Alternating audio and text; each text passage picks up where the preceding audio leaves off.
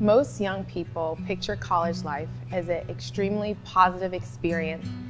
I envision college to be magical because you hear all the success stories, and the last part you hear about is the job. Classes, and then work, and then homework, and then exams. It definitely catches up to you. College, in and of itself, is a challenge. Students face food insecurity, housing insecurity, financial challenges, health issues, and sometimes students don't know where to go. When I got to Kean University, my house had caught on fire and I was homeless. It was not easy mentally or emotionally.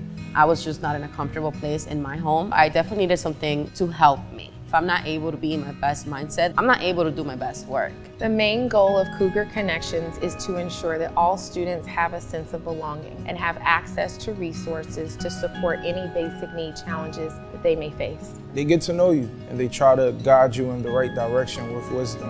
My social workers helped me apply for scholarships, making sure I have a therapist on campus. It definitely feels really nice. Cougar Connections helped me change my life. They helped me build my character to become the leader I know I am. It's definitely helped my comfortability on campus because I know I have so many different people that I can reach out to if I needed help. It actually led me to graduating at a point in my life where I thought I was not going to be able to graduate. Students trust Cougar Connections to release their vulnerabilities and allow us in to help.